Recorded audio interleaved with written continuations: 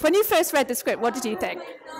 It really surprised me actually. I'd not really seen a film that was um, promoting multiculturalism in the same way before, so I was really excited to get on board, and I was really hoping they'd give me the job basically.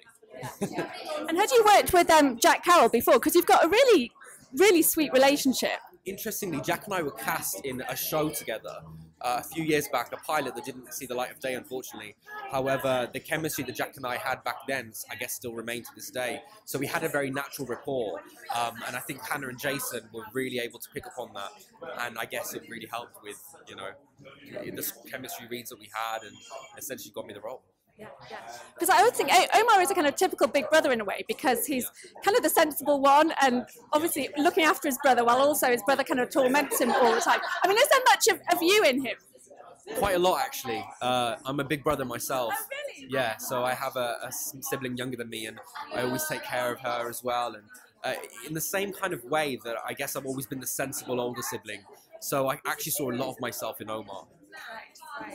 Um, and I have to ask, the there are certain scenes in there that um, I don't know how you got through them without laughing, particularly the ones with Tom Binns, fortune teller. I mean, tell me about filming with him. Filming with everyone was, in all honesty, all I did was just try so hard not to laugh and corpse.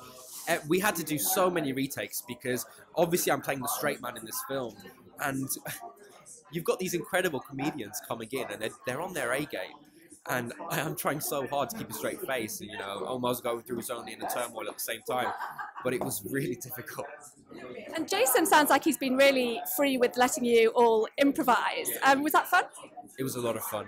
I actually found it daunting at first because, as an actor, you know, you always think that you're going to work within the framework of a script. Uh, but what was so interesting about Jason was he actually let us throw away the script and just essentially be free. He would say things like, uh, you know, this is your point A, this is your point B. How you get there is up to you. And I think that's food for any creative. And was it ever daunting in terms of just the, the comedians that you're working with, or were they really helpful in terms of letting you kind of find your inner Omar?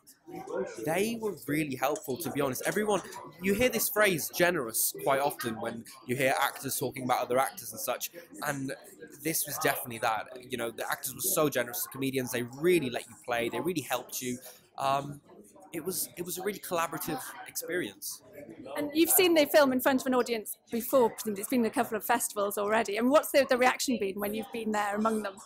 I've seen the film about 20 times now oh, with an audience, and each time is so varied. Uh, what's really interesting is each audience responds to a different aspect of the film differently. So some of them will find it, I mean, it's funny across the board, but some people will find the uh, emotional, the heart of it a little bit hard hitting, and uh, people, some people are laughing so much they're crying. It really varies, uh, but that's what's so interesting about doing, you know, going to Q and A's, going to screenings, and seeing how people respond to it because it's never the same. Because it is really an emotional journey for for Omar, and uh, obviously a, a physical journey as well. Um, but th- I think there's probably quite a lot of characters are going on these journeys, aren't they? I mean, it's um... without a doubt, and also the film offers so much you know, there are so many themes, there's so many storylines. It's it's so varied, um, and I just feel that there's something that everyone can take away from it. Yeah. Thank you very much.